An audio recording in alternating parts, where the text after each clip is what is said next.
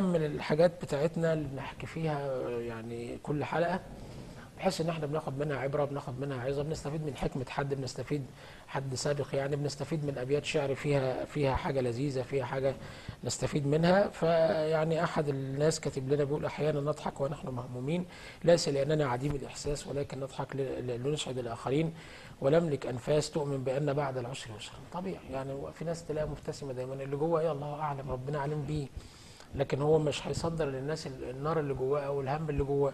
هو يبتسم وخلاص يا- الأصل كده. تبسمك في وجه أخيك صدقه